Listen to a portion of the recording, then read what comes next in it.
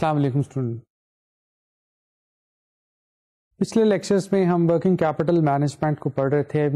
We did cover some working capital policies and discussion how to finance the working capital either through long term finances और short term finances तो उसमें हमने एक बड़ी detailed uh, discussion जो थी वो की थी रिगार्डिंग वर्किंग कैपिटल पॉलिसीज़ जो एग्रेसिव है या कंजर्वेटिव पॉलिसी है और जो मिक्स है लॉन्ग टर्म और शॉर्ट टर्म का। The summary of previous lecture was के वर्किंग कैपिटल मैनेजमेंट है that is based on three four issues main issues जो हैं, जो प्रॉफिटेबिलिटी है लिक्विडिटी है रिस्क है मैनेजमेंट का जो एटीट्यूड है और जो आपको अवेलेबल इंटरेस्ट कॉस्ट हैं लॉन्ग टर्म या शॉर्ट टर्म की उसके मुताबिक you have to a working capital management policy lecture, we shall cover primarily uh, the breakdown of working capital management, जो individual item है working capital के, like cash, we have inventory, receivables, payables. But before uh, we kickstart that particular segments. एक एक example मैंने आपके लिए आज एक टू स्टार्ट आर लेक्चर एक एग्ज़ाम्पल करेंगे. टू कैलकुलेट के टू वर्क आउट के किस तरह वर्किंग कैपिटल की रिक्वायरमेंट जो हैं वो हम उनको डिटर्मन करते हैं. तो आपके लिए ये स्लाइड पे ये क्वेश्चन है, आइए इसको देखते हैं.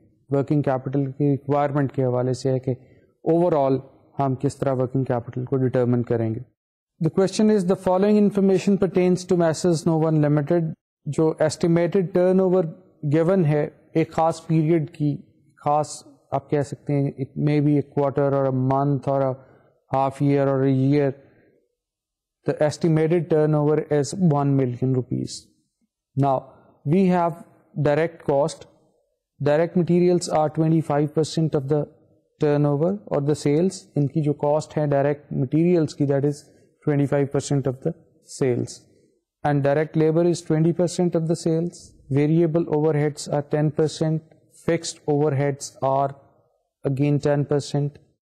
And selling and admin overheads are 5 percent of the turnover. So these are the costs ये एक रेशोज हैं इनकी डायरेक्ट कॉस्ट की और जो ओवरहेड्स हैं उनकी सेल्स के हवाले से।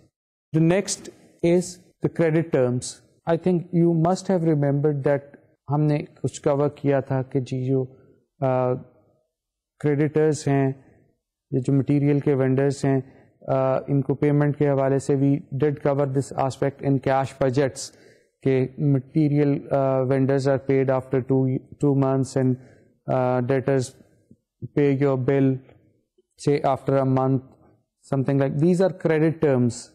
And uh, in this question we have say direct materials are paid after two months direct labor is paid after a month and variable overheads are paid after uh, say one and a half months. Fixed overheads are paid after two months of falling due then we have selling and admin expenses one month from the date of incurrence. Now these are the credit terms and uh, keeping in view these terms and the cost we have just seen on the previous slide इन दोनों term uh, से और cost से मिलकर हम जो है वो working capital की रिक्वायरमेंट को डिटरमिन uh, करेंगे now there are some additional information which are given under this question average duration turnover की हम बात कर रहे हैं कि accounts receivable take two months before realisation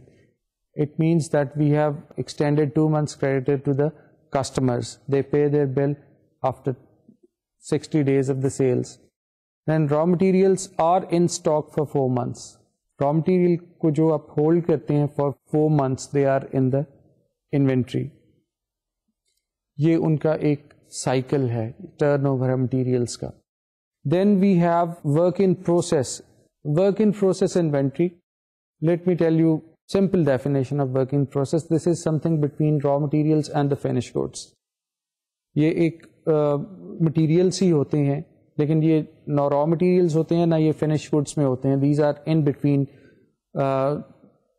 material and the finish goods तो ये किसी भी स्टेज पे हो सकते हैं so in this question we assume that work in process represent one month production which is 50% complete the stage of completion is 50% or in other words that lies exactly in the in between the raw material stage and the finished goods stage then finished goods represent 1.5 months production.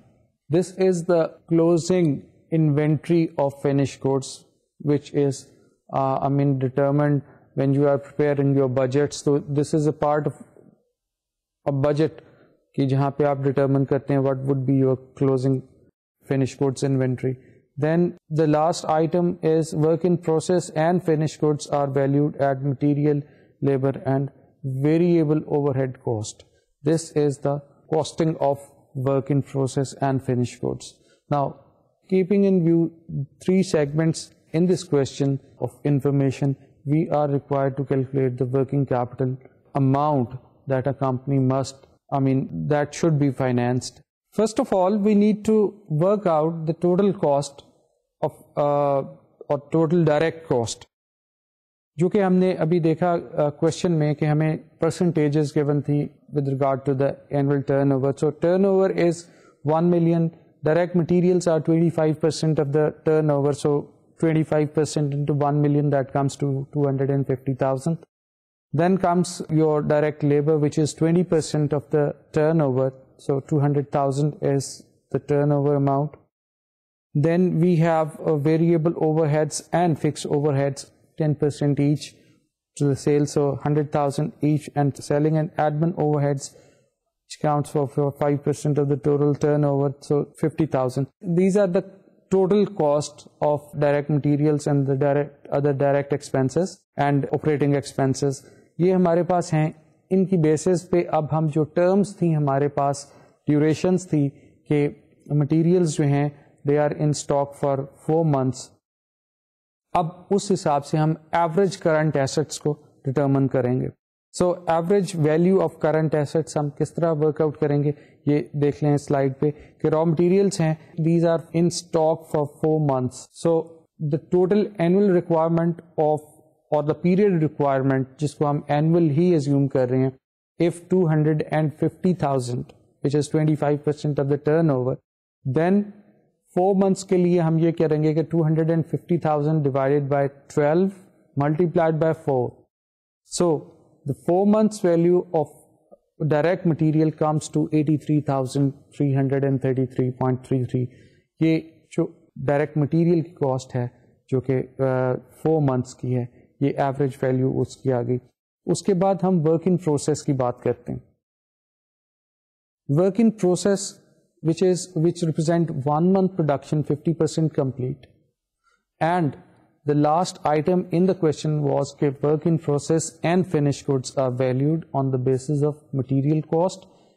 labor and variable production overheads अब ये देखें कि material cost आ रही है सबसे पहले which is 50 percent complete of one month यानी कि 250,000 divided by 12 that gives you a value of one month direct materials and which is 50% complete so that comes to say 10,416 then we have direct labor direct labor हमारे पास जो annual requirement है that is 200,000 divided by 12 into 0.5 or 50% that is 8,333 and variable overheads are 10% of the sales 100,000 divided by 12 and multiplied by 50%.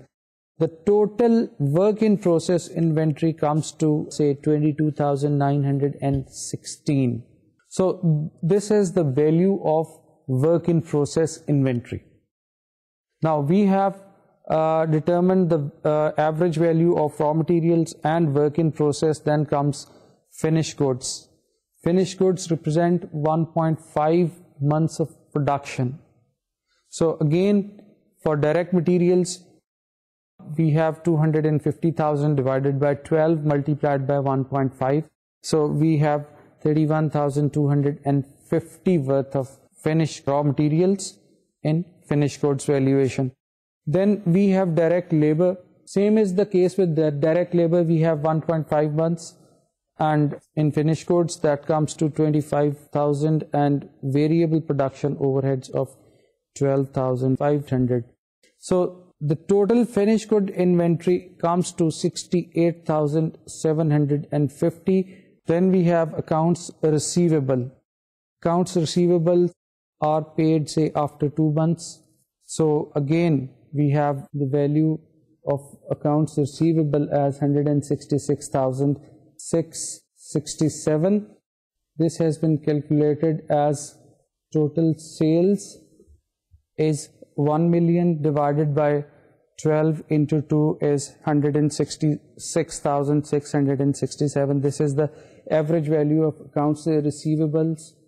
So if we add up all the three items, that direct materials, then we have finished goods inventory and work in process and accounts receivable. So the gross investment in working capital comes to 341,666. This is the total gross value of working capital as per the scenario given to us. Now, we are trying to work out net working capital. So this is the average value of current assets. We have to deduct the current liabilities amount in order to reach at net working capital.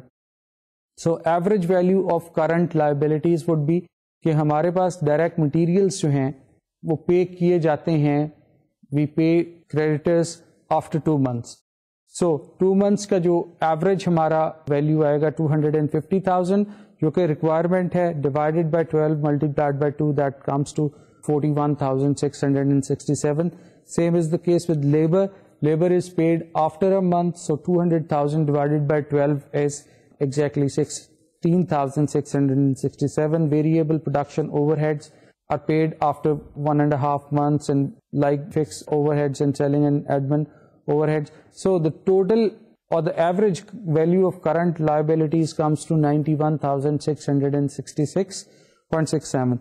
So if we deduct this 91,666 from 341 667 which was the average or which was the gross working capital.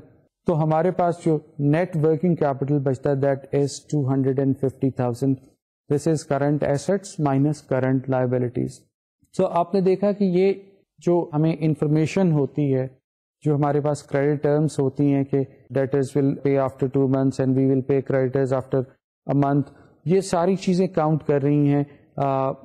Determination में जो कि हमने working capital की करनी है। तो ये इस तरह हमने आपने देखा कि वर्किंग कैपिटल की रिक्वायरमेंट को डिटर्मिन किया। अब इसके साथ वर्किंग कैपिटल की मैनेजमेंट के साथ एक और कॉन्सेप्ट है।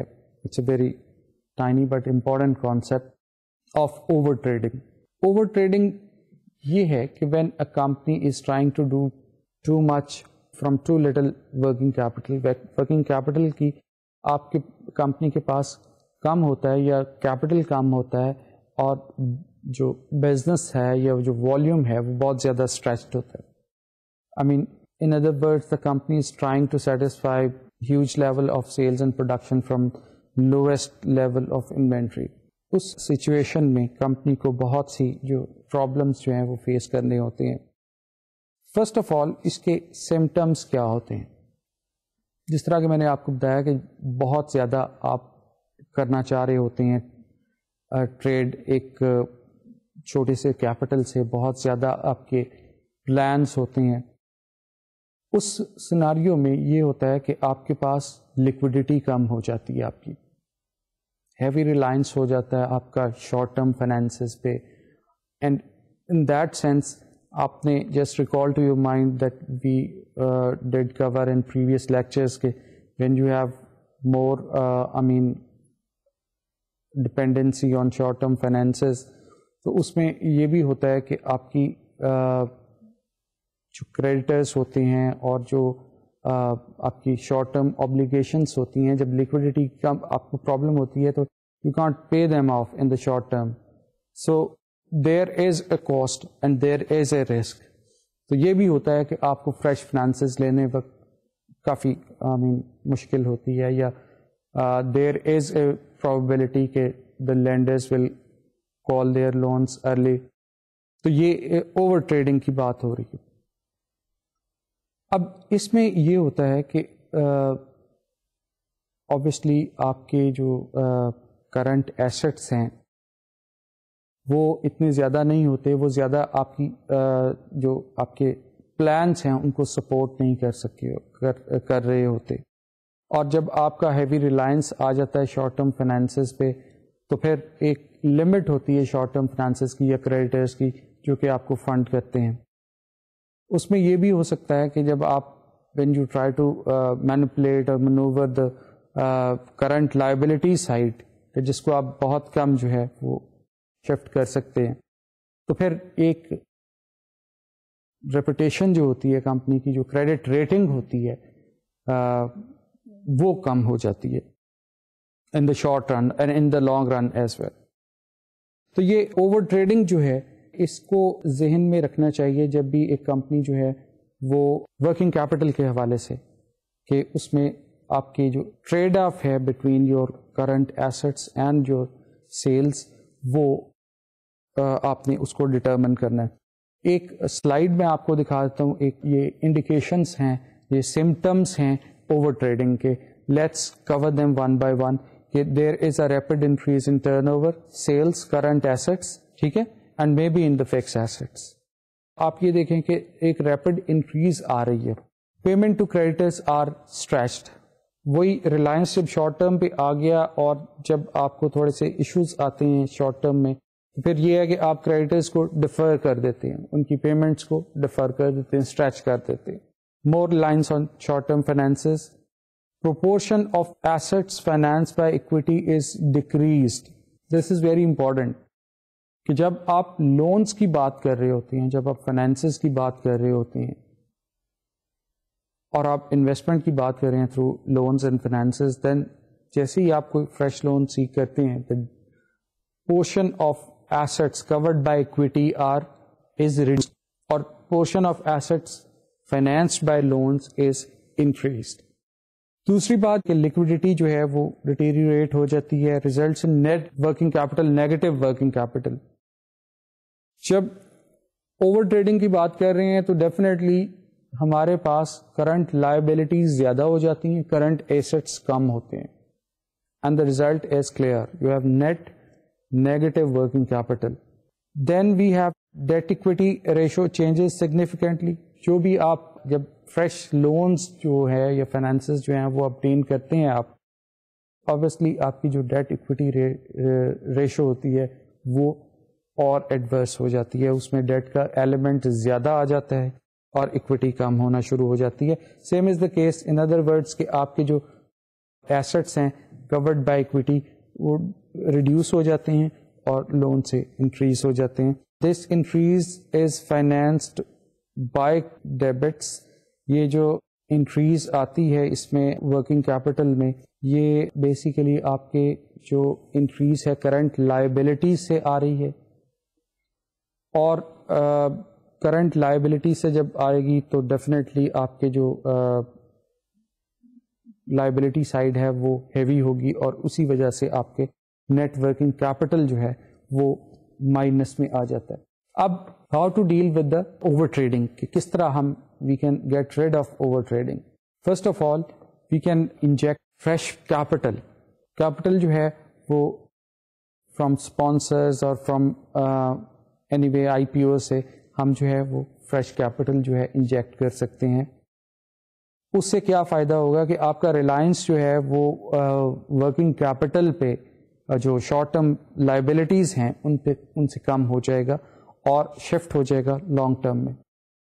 बिकॉज़ ओवर ट्रेडिंग का एक सिम्टम ये भी था कि हो सकता है कि आपके फिक्स एसेट्स में भी इंक्रीज आ रही हो। So that I mean financing is done through the equity या लॉन्ग टर्म रिसोर्सेज जो हैं, उससे आप कर सकते हैं। Then you have to revise your short term strategy जो अननेसेसरी आपके प्लान्स हैं you have to cut down them you have to trim them तो ये ये भी एक I mean it's an effective tool कि आप शॉर्ट टर्म में आपकी स्ट्रेटजी जो है वर्किंग कैपिटल मैनेजमेंट की, उसको शिफ्ट करें towards moderate policy then we have control over inventory and debtors कि हम इन्वेंट्री और डेटर्स को जो है, वो उनकी एक अलहदा जो है वो पॉलिसी उनको बनाएँ ताकि जो ट्रेड ऑफ़ है हमने कायम करना है वो करंट एसेट्स की इन्वेस्टमेंट में वो हमें अचीव हम कर सकें।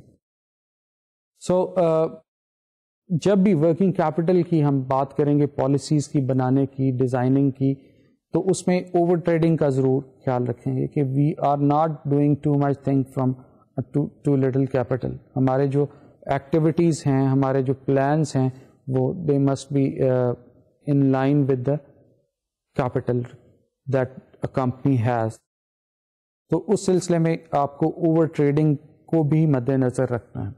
इन शॉर्ट जब भी वर्किंग कैपिटल की बात होगी पॉलिसीज़ की बात होगी तो उसमें कुछ इश्यूज़ जो हैं, वो बहुत इंपॉर्टेंट है which are crucial to the success of working capital policy यानी कि जो हमने इश्यूज़ कवर किए थे लिक्विडिटी का प्रॉफिटेबिलिटी का रिस्क का short term and long term जो मिक्स है इन्वेस्टमेंट का in working capital then we must be aware of the management attitude और उसकी डायरेक्शन का हमें पता होना चाहिए कि व्हाट मैनेजमेंट लाइक्स उसके बाद ओवर ट्रेडिंग की बात है।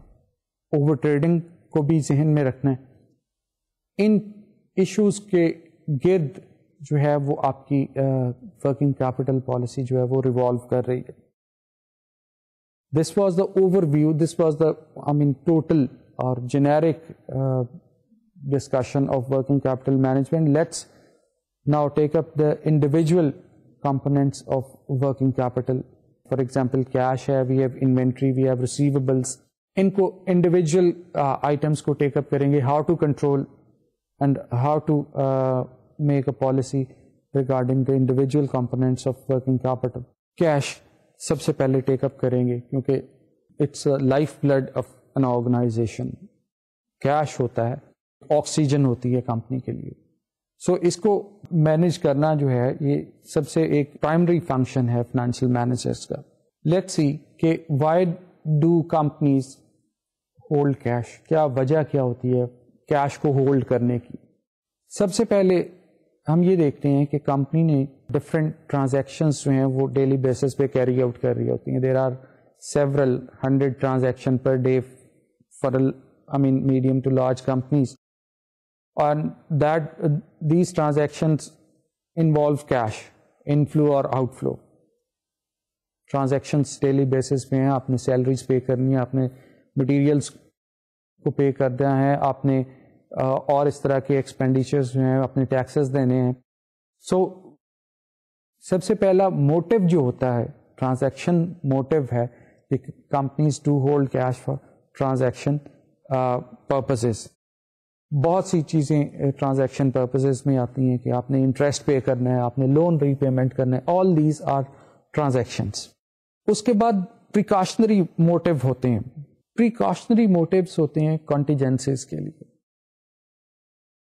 During the course of business कोई ऐसी नीड्स आ जाती हैं जो कि प्लान नहीं होती जो कि अनसीन होती हैं अनफोर्सिन होती हैं। हम उनको प्लान नहीं कर सकते एंटिसिपेट नहीं कर सकते। We can anticipate that we need to pay say creditors after a month uh, in the amount of say 100,000 वो थोड़ा सा आपका वेरिएशन उसमें आ सकती है। लेकिन फॉर एग्जांपल कि आपको कोई एक लॉस आ गया है उसके लिए आपको uh, आपको उसकी इंडेमनीफाई करना है कोई इस तरह की इमरजेंसी आ गई है तो कॉन्टीजेंट एक लाइबिलिटी आ गई है जिसको आपने पे करना है। So that's for that purpose you need to have sufficient cash जो कि ट्रांजैक्शन मोटिव्स के अलावा की बात कर रहे हैं। ट्रांजैक्शन मोटिव में आपको कुछ आइडिया होता है, आपकी प्लानिंग होती है you are aware of the से timing and magnitude of the outflow और इनफ्लो ट्रांजैक्शन की अगर आपने इंटरेस्ट पे करना है then you you are quite sure कि आपका इंटरेस्ट पेमेंट जो है, वो एक्स डॉलर और वाई डॉलर के दरमियान होगी। और you have to pay that interest payment before fifteen of the month सो आपको उसकी टाइमिंग और मैग्नीट्यूड का पता होता है लेकिन प्रिकॉशनरी मोटिव्स जो होते हैं इनका आपको बिल्कुल नहीं होता ये बिल्कुल अचानक जो है ये सरफेस पे आते हैं and you have to settle these claim as well. The third motive for holding cash is speculative motive.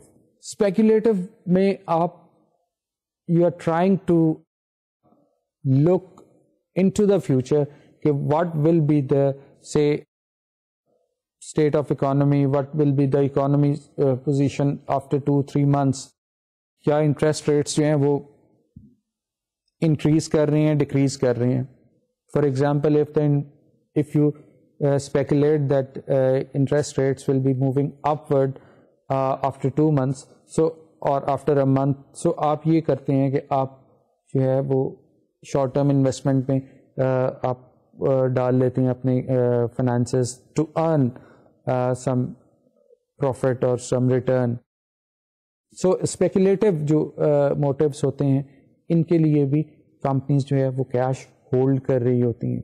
So so, अब यहाँ पे क्वेश्चन अराइज होता है कि हाउ मच कैश और how much cash and cash equivalents a company should hold यहाँ पे जहन में आना चाहिए कि when you are holding cash, so there is an opportunity cost, which you have surrendered, which is foregone.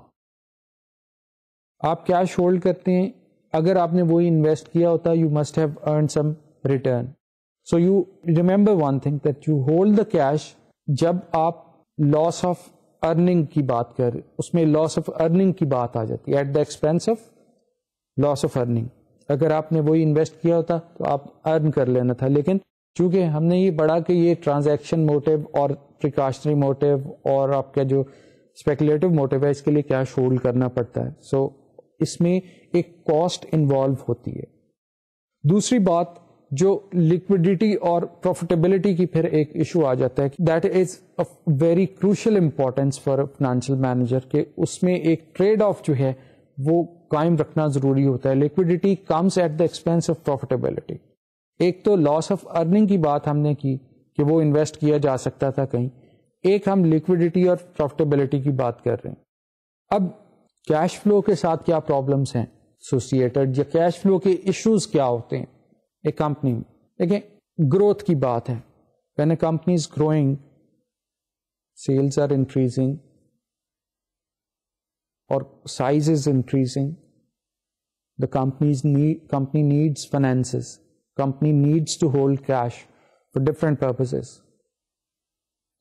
Growing business के लिए आपको नॉन करंट एसेट्स में भी इन्वेस्टमेंट करनी होती है आपने करंट आपकी सेल्स अगर इंक्रीज हो रही है then your current assets are increasing as well आपको जो आपकी टर्न ओवर है उसको सपोर्ट करने के लिए करंट एसेट्स को मेंटेन करना पड़ता है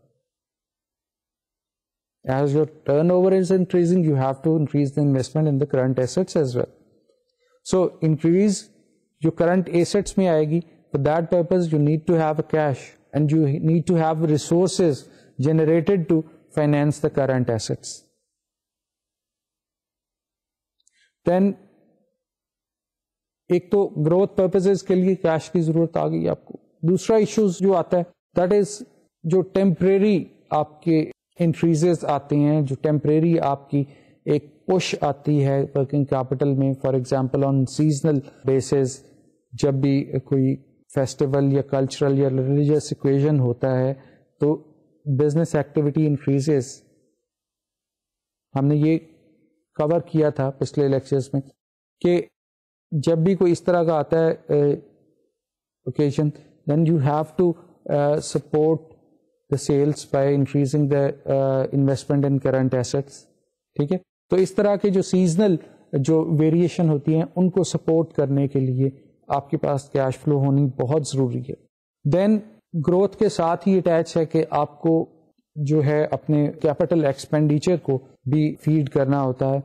एक तो ग्रोथ के साथ रिलेटेड है कि अगर आपने for example the size increases is increasing, so you have to increase uh, your fixed assets or non-current assets. एक replacement की बात होती है, replacement of assets.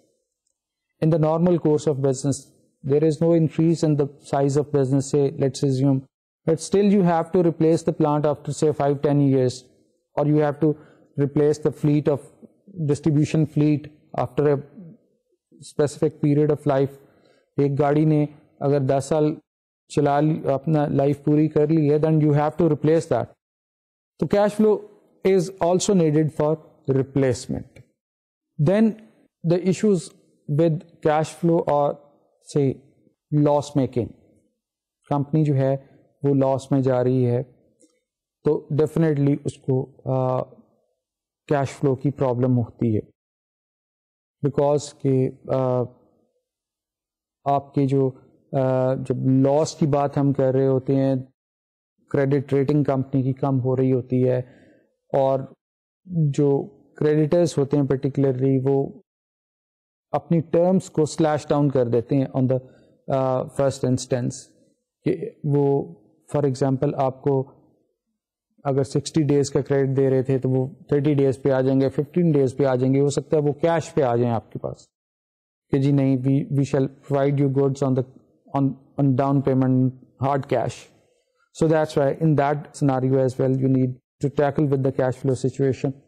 अब इस कैश फ्लो के जो इश्यूज़ हैं इनको हम किस तरह एलिमिनेट कर सकते हैं किस तरह हम इनको इम्प्रूव कर सकते हैं situation first of all is के कैश मैनेजमेंट में एक चीज़ फ्लोट आती है it's a very important concept कि फ्लोट जो है वो आपका टाइम पीरियड होता है कि that I mean start from the day you sell goods to the debtor and the time you receive cash इसमें बहुत सी स्टेजेस इन्वॉल्व हैं कि आप जब सेल uh, आउट करते हैं तो एक ख़ास पीरियड के बाद डेटर्स ने आपको पेमेंट करनी है। Payment for example fifteenth of से मंथ को payment is due the debtor will cut a cheque off on fifteenth and will dispatch से वो पोस्ट कर देता है आपको चेक आपको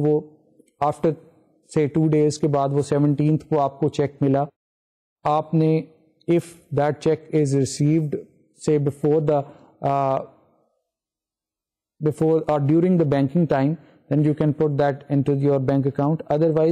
to put that uh, check into your checking account on the 18th of the month जब eighteen of the month को जाएगा देन उसमें ये होगा कि it will take two days to get cleared if that is a local अगर out station का cheque है तो एक दिन और ज़्यादा so the cash will be with you and you are in the position to utilise the cash on twenty और twenty first of the month so there is a float of से five six days और आगे अगर फिर Saturday और Sunday आ जाता है तो वो एक वीक का फ्लोट टाइम बन जाता है।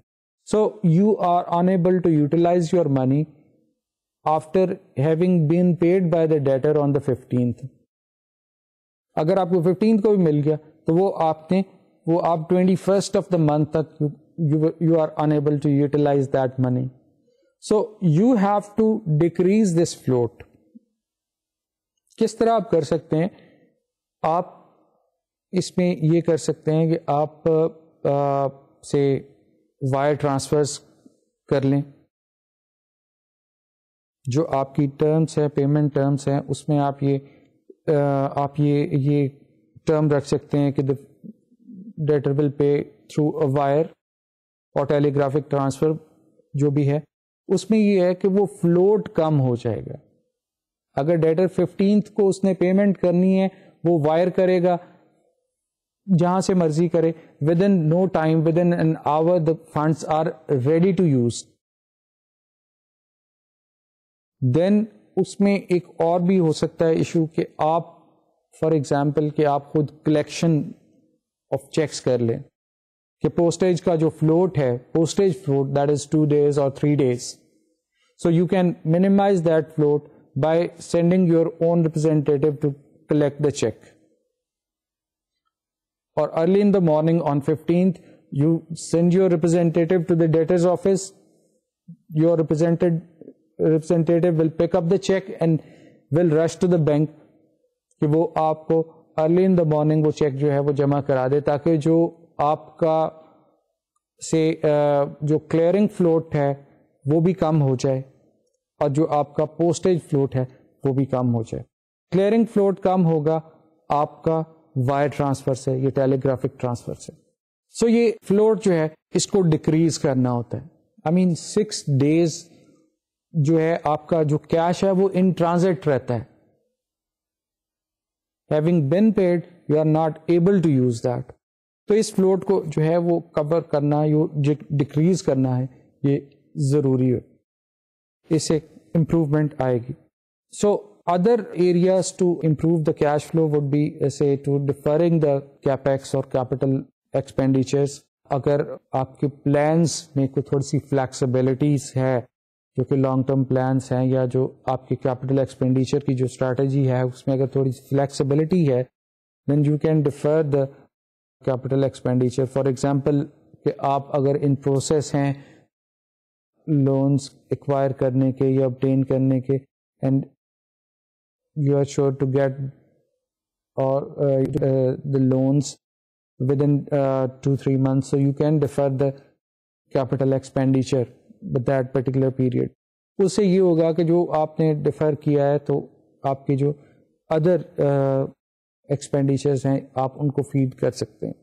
एक और भी सिचुएशन ये हो सकती है कैश फ्लो के इश्यूज़ को टैकल करने के लिए कि आप जो रिकवरीज हैं, उनको कोशिश करें try to recover the outstanding payments from debtors earlier than the otherwise scheduled time कि आपने आप ये भी कर सकते हैं कि when you are confronted with cash flow issues you can request your debtors कि जी हमें अर्ली पेमेंट आप जो है वो कर दें। आ, उसमें ये भी हो सकता है कि आप उनको फ्रैक्शनल डिस्काउंट भी ऑफ़र कर सकते हैं कि जी फॉर एग्जांपल कि हम आपको टू परसेंट डिस्काउंट देते हैं। We shall take up this in account receivable management लेकिन for the time being as a remedy of improving cash flow हम ये कर सकते हैं कि उनको अर्ली पेमेंट के लिए हम कह सकते हैं। Then to ease adverse cash flow situation, we can liquidate our short term investments. Short term investment को जो है वो डिस्पोज ऑफ़ किया जाता है और उससे जो कैश मिलेगा उससे हम यूज़ कर सकते हैं। Then there is deferring payment to creditors या लोन की जो पेमेंट है, उसको रीशेड्यूल कराया जा सकता है। कि ये तो बहुत ज़्यादा अगर एडवर्स सिचुएशन है then you can go for the rescheduling of loans और इन शॉर्ट टर्म अगर आपके पास थोड़ा सा कैश फ्लो का कोई डेफिसिट आ रहा है then you can reschedule जो क्रेडिटर्स उनको डिफर कर सकते हैं एक दो महीने के लिए। In all this scenario of improving cash flow planning is of vital importance कि आपने जो प्लान करना है, वो आपकी बड़ी सॉलिड प्लानिंग होनी चाहिए। इन टर्म्स ऑफ़ से रोलिंग कैश फ्लोज आपके होने चाहिए कि आपके पास at any point of time you must have quarterly cash flow with you कि आपके पास क्वार्टरली हो से सिक्स वीक की आपके पास नेक्स्ट आपको पता होना चाहिए कि हमारे इनफ्लोज की क्या टाइमिंग है आउटफ्लोज की क्या टाइमिंग है कहाँ पे डेफिसिट आ रहा है। सो so, ये ये चीज़ जो है ये बड़ी हद तक आपको हेल्प आउट करेगी in removing cash flow difficulties जो एडवर्स सिचुएशन आ रही है आपके पास। अब एक तो कैश फ्लो का जो हमारे पास एक साइड थी कि हमारे पास कैश फ्लो कम थी और उसको हमने इम्प्रूव करना था। बैड सिचुएशन से हम उसको इम्प्रूव कर रहे थे। Now assuming that we have surplus cash flow, then how we will manage that surplus cash flow? उसमें ये होता है कि जो आपके पास आते हैं शॉर्ट टर्म में जो सरप्लस आ रहा होता है आपके पास कैश फ्लो का you can you can invest that surplus in short term securities या शॉर्ट टर्म इन्वेस्टमेंट आप उसकी कर सकते हैं। आपको पता है, आपका जो बजट है that is revealing that you won't be using X amount of cash for two three day two three months आपके पास से हंड्रेड थाउज़ेंड का जो कैश है वो एवरेज बैलेंस जो है वो अगले दो तीन महीने में इस्तेमाल नहीं हो रहा then you can put that surplus cash flow to से to investment short term securities में उसको आप कर सकते हैं to earn some return on it uh, there are some uh, points, there are some factors that must be considered before we go for short term investment. सबसे पहले तो उसमें लिक्विडिटी होनी चाहिए कि जो शॉर्ट टर्म इन्वेस्टमेंट है that should fall within the definition of cash and cash equivalents ठीक है? उसमें लिक्विडिटी होनी चाहिए कि at any point of time you can I mean transform that investment into cash और उसमें यू मस्ट रिमेंबर कि दो चीज़ें होती हैं. जो लिक्विडिटी को काउंट कर रही होती हैं। फ़र्स्ट इज़ कि uh, उसकी जो how quickly it can be converted into cash and without loss of value loss of value नहीं आनी चाहिए उसमें। वैसे तो आप कोई भी चीज़ जो है वो आ, जल्दी या देर कैश में कन्वर्ट कर सकते हैं बट अगर लॉस ऑफ़ वैल्यू है then that is not a liquidity that is not liquidity so liquidity ये होनी चाहिए कि एक तो वो फौरी तौर पे ट्रांसफॉर्म हो जाए कैश में कन्वर्ट हो जाए and the other thing is कि वो there should not be any loss of value then profitability when you are putting funds in any investment there must be some return of that you have to ensure कि उसकी कोई आपको return मिले। वो useless ना investment हो गए उसमें आपको कोई रिटर्न ही ना मिले। तो प्रॉफिटेबिलिटी होनी चाहिए। Then there is another factor that must be consider that is safety कि आपकी इन्वेस्टमेंट वो सेफ़ हो। There should not be any chance of I mean bad debts वो बैड इन्वेस्टमेंट ना हो, कि वो आपको रिकवरी ना हो प्रिंसिपली उसका। तो सेफ्टी को भी कंसिडर किया जाना चाहिए उसमें। फिर उसकी मेच्योरिटी के हवाले से। मेच्योरिटी के हवाले से ये है कि वो दो से तीन महीने के दरमियान जो है वो मेच्योर हो जाए और एट योर डिस्पोजल कि वो जब भी आपको चाहिए you can call your investment back तो ये ये इन्वेस्टमेंट का था कि जो आपके पास अगर सरप्लस कैश फ्लो होता है तो फिर आप किस तरह उसको हैंडल कर सकते हैं। अगर आपके पास कैश फ्लो कम है एडवर्स है सिचुएशन तो आपको उसको किस तरह कवर करना है? और अगर आपके पास सरप्लस है तो आपको किस तरह कवर करना है? अब एक और यहाँ पे क्वेश्चन आता है कि what should be the amount of cash that should be held by the company क्या उसका मैग्नीट्यूड क्या होना चाहिए? ये तो हमें पता है कि हमारे पास कैश होना चाहिए कंपनी के पास होना चाहिए for different motives but what should be the limit of that इसमें हम एक अप्रोच है, हमारे पास इन्वेंट्री मैनेजमेंट की अप्रोच है कि जो इकोनॉमिक साइज़ है कैश होल्डिंग का, वो क्या होना चाहिए आपके पास। इसमें यह है कि दो तरह की कॉस्ट जो है, वो इन्वॉल्व हैं इन होल्डिंग कैश एक तो फिक्स कॉस्ट है। देखिए, अगर आप कैश होल्ड नहीं करेंगे तो definitely for short term needs you have to seek loans you have to obtain loans या ये भी कर सकते हैं कि आपने अगर लॉन्ग टर्म सोर्स इस्तेमाल करना है for example to public subscription के लिए जाना है आईपीओ के लिए जाना है देन देर इज़ कॉस्ट उसकी कॉस्ट है। अगर आप लोन्स के लिए जाएँगे तो एक कॉस्ट आपको बेयर करनी पड़ेगी। अगर आपको आईपीओ की तरफ़ जा रहे हैं, एक फ़र्स्ट फिक्स कॉस्ट होगी। फ़ीस है अंडर राइटिंग है, बहुत सी चीज़ें हैं।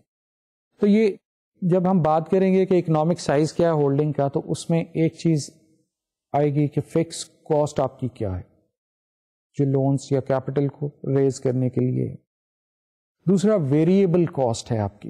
कि जब आप होल्ड करेंगे तो डेफिनेटली आपके पास जो अपॉर्चुनिटी कॉस्ट है, आपको वो surrendering some return in favour of holding cash तो इन दोनों चीज़ों को, एक तो आपके पास फिक्स कॉस्ट आ गई और दूसरी, आपके पास वेरिएबल कॉस्ट आ गई, या आपके पास जो अपॉर्चुनिटी कॉस्ट है that will be the variable cost अब एक फॉर्मूला है स्क्रीन पे, उसको आप देखें।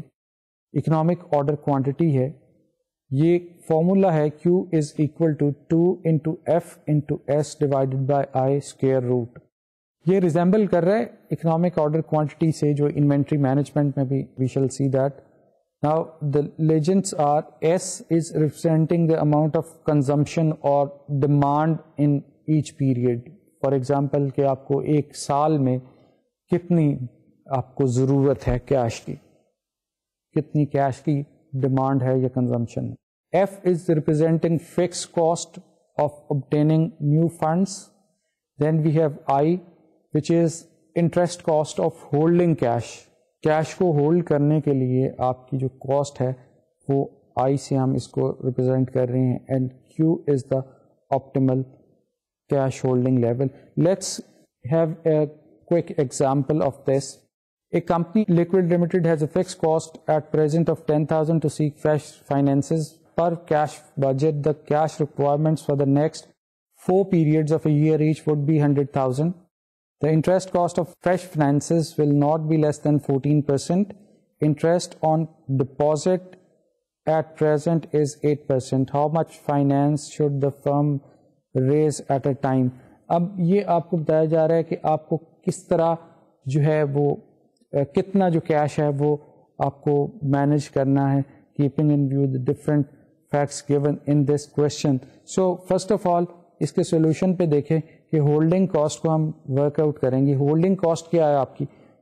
कि आपने जो स्प्रेड है, जो आपका इंटरेस्ट है ऑन लोन और जो इंटरेस्ट ऑन डिपॉजिट है, उसका स्प्रेड जो है that represent holding cost so in this scenario that is 14 minus eight percent is equal to six percent जो है, वो आपका होल्डिंग कॉस्ट यहाँ पे बन रहा है। अब putting The values in the formula that we have just seen के two into ten thousand which represent fix cost into demand of 100,000 per period divided by interest rate. If we simplify that, that comes to 182,574. ये optimal level है आपका एक size है कि ये cash आपने hold करना है but this is for a period of around two years देखिए हमारे पास ये जो 182 आई है इसको अगर हम 100,000 पे डिवाइड करेंगे विच इज़ पीरियड रिक्वायरमेंट तो हमारे पास जो आंसर आता है that is 1.83 years so this 182,000 is enough for almost two years तो ये राउंड ऑफ़ करके ये हम इस तरह इकोनॉमिक ऑर्डर क्वांटिटी जो है ये कैलकुलेट कर सकते हैं। इसमें एक चीज़ मैं आपको बता दूँ कि there there is a different formula जिसको हम यूटिलाइज कर सकते हैं इकोनॉमिक ऑर्डर क्वांटिटी में। We shall take up that in इंशाल्लाह इन द नेक्स्ट लेक्चर तो सम अप ये है कि ड्रॉबैक्स ज़रूर हैं इस इकोनॉमिक ऑर्डर की अप्रोच में। फ़र्स्ट ऑफ़ ऑल ये है कि जो फ्यूचर को हम प्रिडिक्ट कर रहे होते हैं रिक्वायरमेंट्स को, जिस तरह अभी हम, मैंने आपको बताया कि there are some contingencies which are not estimated और which are not I mean उनको एस्टिमेट कर ही नहीं सकते कॉन्टीजेंसीज को तो उस सूरत हाल में ये जो रिक्वायरमेंट्स हैं ये आ, बड़ी मुश्किल होती हैं और फिर ये होता है कि there are many other cost in associated with running out of cash And the other thing, there uh, may be some other cost of holding cash which increase with the average amount held. ये भी एक issue uh, होता है कि cash को hold करने के लिए कुछ दूसरी कॉस्ट भी होती है। तो ये ड्रॉबैक्स हैं इकोनॉमिक ऑर्डर क्वांटिटी के अप्रोच में। एक इंशाल्लाह नेक्स्ट लेक्चर में हम uh, कुछ क्वेश्चंस कैश मैनेजमेंट के और उसके बाद हम अपने नेक्स्ट जो है वो टॉपिक को टच करेंगे। कैश मैनेजमेंट में ही और एक मॉडल है जिसको हम कवर करेंगे। वो भी मॉडल जो है वो हमें आ, ये बताएगा कि हम कैश का जो बैलेंस है, ये कैश का जो लेवल है, वो कितना हम रख सकते हैं। वो भी डिटर्मिनेशन का है, जिस तरह इकोनॉमिक ऑर्डर क्वांटिटी हमें बताती है कि हमें कितना कैश होल्ड करना है। इसी तरह वो मॉडल भी जो है, वो हमें बताएगा। वो हम इंशाल्लाह नेक्स्ट लेक्चर में कैलकुलेट कवर करेंगे। आज का जो लेक्चर है, यहीं पे कंक्लूड होता है, इंशाल्लाह। लेक्चर 29 में फिर मिलेंगे। अल्लाह हाफिज़।